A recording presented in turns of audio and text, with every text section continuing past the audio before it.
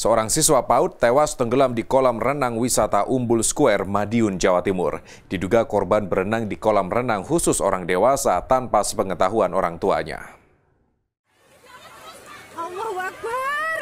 Inilah video amatir saat seorang warga mencoba menolong siswa PAUD yang tenggelam di kolam renang wisata Umbul Square Madiun pada Senin siang.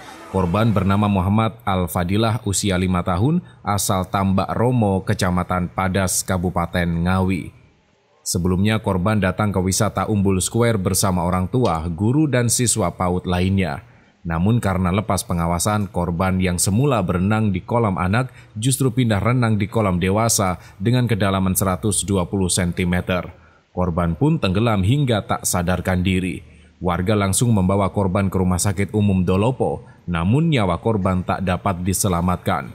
Polisi yang mendapatkan laporan langsung memeriksa sejumlah saksi, termasuk manajemen wisata Umbul Square.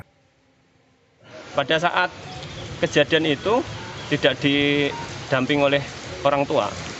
Jadi sebelum sebenarnya ini kan di kolam bawah. Kolam bawah ini kan hanya sekitar 40 cm. Nah, tidak tahu bagaimana tiba-tiba anak ini sudah masuk di kolam dalam ini. Kolam dalam ini sekitar 120 tapi kalau anak TK yang jelas tidak tidak jajak ngomong. Jenazah korban kemudian dibawa ke rumah duka di Ngawi untuk dimakamkan. Imam Iswanto, Kompas TV, Madiun, Jawa Timur.